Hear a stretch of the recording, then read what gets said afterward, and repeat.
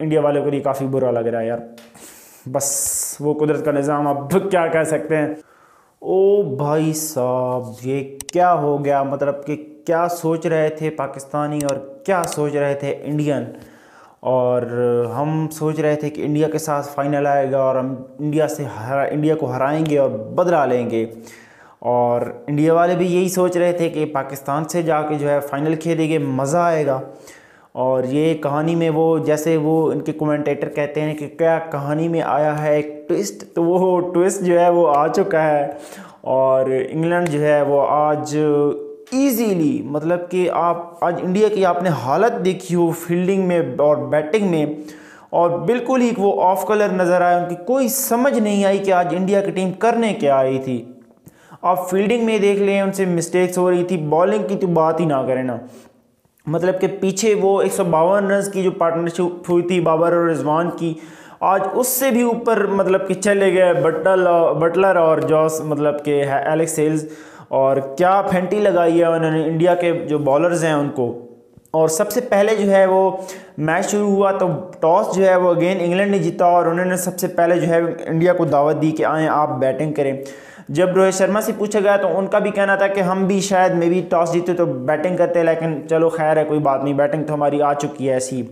और बैटिंग करने आए तो अगेन जो है वो के राहुल और रोहित शर्मा मतलब कि बाबर और रिजवान की जोड़ी की तो सब बातें कर रहे हैं, लेकिन के राहुल और रोहित शर्मा की जो जोड़ी है, इसके बारे में कोई भी बात नहीं कर रहा। अब अब जो है वो बातें शुरू हो चुकी हैं। और के राहुल की जो परफॉर्मेंस है, वो सवाए मतलब कि एक मैच के उन्होंने फिफ्टी बनाई थी मेरे ख्याल से, एक के दो मैचेस में। और कोई परफॉर्मेंस उनकी नहीं रही, बड़े मैचों में तो वैसे भी जो है वो फेल हो जाते हैं। और आज भी वैसा हुआ है मतलब कि वो चार से पाँच गेंदों में उन्होंने जो है वो पाँच रन बनाए हैं और वो मतलब कि चलते बने हैं पाँच गेंदों पर पाँच रन बना के। उसके बाद के राहुल और विराट कोहली जो है, उन्होंने थोड़ा सा मतलब कि रोहित शर्मा और विराट कोहली ने थोड़ी सी जो है वो हिम्मत दिखाई और कुछ रन बनाए। लेकिन अगेन रोहित शर्मा जो है वो अट्ठाईस बालों पर सत्ताईस रन बनाकर आउट हो गए। विराट कोहली आज खेले, लेकिन विराट कोहली आज थोड़े से स्लो थे। मतलब 40 गेंदों पर 50 रन तो कुछ, कोई वो नहीं है। स्ट्राइक रेट उनका जो 125 था मतलब 130 से भी कम स्ट्राइक रेट तो ये भाई टी ट्वेंटी में अब नहीं चलने वाला। वो तो शुक्र है मतलब कि हार्दिक पांड्या जो है, वो आखिर में आए और उन्होंने जो लाठी चार्ज किया तैंतीस बालों पर तिरसठ रन जो उन्होंने बनाया है, पाँच छक्के लगाए हैं और चार चौके लगाए हैं। और उनका जो स्ट्राइक रेट था, वो वन था। तो उस वजह से जो है वो इंडिया 169 पर भी पहुँचा, वरना वो भी नहीं पहुँचने वाला था। सूर्य कुमार यादव से काफ़ी उम्मीदें थी, काफ़ी उम्मीदें थी आज इंडिया को, लेकिन वो भी उम्मीदें जो हैं वो उन्होंने बिल्कुल ही मतलब कि इंडिया की ख़त्म कर दी और 10 रन सिर्फ़ बनाए और चौदह रन बनाया दस गेंदों पर। और क्या ज़बरदस्त विकेट लिया आदिल रशी मतलब रशीद ने और बाँध के रख दिया आज उन्होंने। मतलब चार ओवर में बीस रन दिए और एक अहम विकेट लिया उन्होंने। सूर्य कुमार यादव की। इसके अलावा इंग्लैंड के जो बॉलर्स थे, वो तमाम ही जो हैं, वो आज अच्छे रहे। तीन विकटी जॉर्डन को मिली, लेकिन वो थोड़े से एक्सपेंसिव रहे मतलब चार ओवर ने जो है, वो तैंतालीस रन दिए। बाकी इसके अलावा, बाकी जो इंग्लैंड के बॉलर्स हैं सैम करन को आपको जानते हैं, उनको आज काफ़ी जो है, वो मार पड़ी चार ओवर में बैतालीस रन लेकिन फिर भी जो है, वो इंग्लैंड ने थोड़ी सी बॉलिंग अच्छी किया सिवाय वो आखिर में जो है, वो लाठी चार्ज की, जो किया है हार्दिक पंड्या ने। तो उस वजह से जो है वो इंडिया का जो स्कोर है वो कुछ गुजारा हुआ। और पता नहीं मतलब कि आज मुझे समझ नहीं आई इंडिया की टीम ना, पता नहीं ऑफ़ कलर थी उसके बाद जी आए हैं बटलर और एलेक्स हिल्स जी।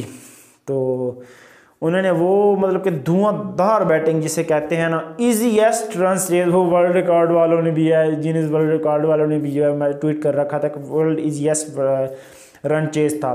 तो भाई साहब उन्होंने जो है वो आंधी की तरह आए, उन्होंने बिल्कुल ही मतलब कि कोई मौका ही नहीं दिया। इंडिया के बॉलर्स जो थे वो घबरा से गए। आपने फील्डिंग देखी होगी, वो पीछे जो उन्होंने पीछे गई थी बाउंड्री पे बॉल और वो किसी ने उठा के ऐसे फेंकी तो वो मतलब कि फेंके नहीं बनती नहीं थी। तो वो काफ़ी प्रेशर ले गए थे। इसके अलावा बॉलर जो थे वो, उनके समझ नहीं आ रही थी कि हम कैसे बॉलिंग करवाएँ। अर्श, पहला ओवर करवाया अर्शदीप से। दूसरा ओवर तो उनसे एक ही ओवर करवा के फिर वो चुप हो गए और मतलब कि अर्शदीप से उस वक्त दूसरा ओवर करवा लेते तो शायद जो है वो विकेट मिल जाती है। लेकिन इंडिया की समझ नहीं आई कि वो अटैक कहीं पर भी नहीं लग रहा था कि वो अटैक करने आए हों।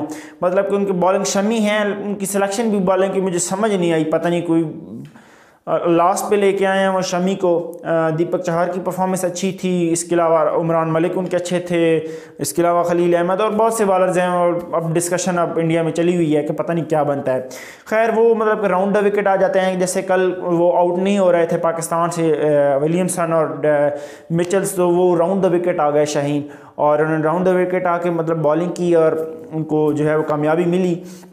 लेकिन अगेन, आज उन्होंने कोई, इंडिया वालों ने कोई अटैक मतलब करने की कोशिश नहीं की और सही जो है वो धुआंधार जिसे बैटिंग कहते हैं ना, वो वाली बैटिंग की आज उन्होंने। बटलर ने उनचास गेंदों पर अस्सी रन बनाए और सैंतालीस गेंदों पर छियासी रन बनाए हेल स्ट्रोम ने। हेल स्ट्रोम वो उसका नाम बन चुका है वैसे तो उनका नाम है एलेक्स सेल्स और सात छक्के लगाए हैं जी एलेक्स सेल्स ने और क्या ज़बरदस्त छक्के लगाए हैं। और लास्ट में जो बटलर ने छक्का लगाया, सामने इतनी बड़ी बाउंड्रीज हैं ऑस्ट्रेलिया की, वहाँ पर उन्होंने बहुत ही ज़बरदस्त एक्सपीरियंस भी है उनका, वो एशेज़ वगैरह वो सारी सीरीज़ जो है वो वहाँ पर खेलते हैं। तो कोई मौका नहीं दिया इंडिया को और पहली दफ़ा जो था वो आ, मुझे बड़ा अजीब लगा इंडिया के लिए कि वो फाइनल में भी नहीं जा सके और मुझे काफ़ी उम्मीद थी कि इंडिया और पाकिस्तान का जो है वो फाइनल होगा और मज़ा आएगा। कोहली को मैंने पहली दफ़ा थोड़ा सा बहुत ज़्यादा जो है वो सैड देखा वो रोते ही मुझे लग रहा था कि रो रहे हों जैसे। और बाकी इंडिया की टीम जो थी, वो भी काफ़ी सैड थी। अब देखते हैं आज जैसा कि वो उनके सुनील गवास्कर हैं, वो भी कह रहे हैं कि मैनी जो हैं, वो बहुत सारी रिटायरमेंट्स अब आपको नज़र आएँगी। जैसे रोहित शर्मा हो गए मतलब कि उनके हैं वो दिनेश कार्तिक हो गए और बहुत सारे खिलाड़ी हैं जो मतलब कि चेंजिंग आपको काफ़ी सारी नज़र आएँगी। और मुझे लग रहा है कि हार्दिक पंड्या जो है, वो उनके टी ट्वेंटी के कैप्टन बनने वाले हैं। तो मतलब काफ़ी तनकीद हो रही है इंडिया की बॉलिंग पर भी और पता नहीं क्या मतलब कोई समझ नहीं है। सबसे मेन मसला उनका था बॉलिंग का, हमारा मसला था मिडल ऑर्डर का। मिडल ऑर्डर का मसला तो हमारा, चलो सॉल्व हो गया किसी हद तक और हमें जो वर्ल्ड कप के सारे मैचेस जीते हैं, वो मिडल ऑर्डर की वजह से जीते हैं। लेकिन इंडिया की जो बॉलिंग है, उसने कोई ख़ास नहीं किया अभी तक।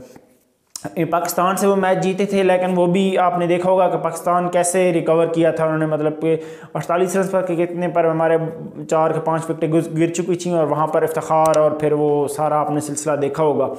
लेकिन अब देखते हैं क्या बनता है इंडिया की टीम का। और अब पाकिस्तान और इंडिया, इंग्लैंड का जो फाइनल है वो कंफर्म हो चुका है और अब देखते हैं क्या बनता है। इंग्लैंड की टीम जो है वो काफ़ी काफ़ी स्ट्रॉन्ग है और 92 में भी हमारा जो है था वो इंग्लैंड के साथ फाइनल था। आज फिर इंग्लैंड के साथ फाइनल है। आ, मतलब कि संडे को अब देखते हैं क्या सूरत हाल बनती है। उम्मीद तो है कि हम जीत जाएँगे इन लेकिन दोनों टीम जो है वो काफ़ी स्ट्रॉन्ग है। दोनों टीमों को जो ओपनर्स हैं वो इस वक्त फॉर्म में है। मतलब उस दिन जो टीम प्रेशर नहीं लेगी खैर एक हद तक आप देखें कि पाकिस्तान टीम का जो थोड़ा सा प्रेशर है वो इंडिया के साथ जो खेलते तो वो और होता और इंग्लैंड के साथ अब खेलेंगे तो वो और सिचुएशन होगी। लेकिन देखते हैं उम्मीद तो है कि इंशाल्लाह पाकिस्तान वर्ल्ड कप जीतेगा और जीतना भी चाहिए। तो अब देखते हैं क्या बनता है। बहरहाल पाकिस्तान के लिए दुआ करें लेकिन हमारी वीडियो बस यहीं तक थी। आ, इंडिया वालों को लिए काफ़ी बुरा लग रहा है यार। बस वो कुदरत का निज़ाम अब क्या कह सकते हैं। फिर वीडियो को लाइक कर दो सब्सक्राइब कर दो मिलते हैं फिर अगली वीडियो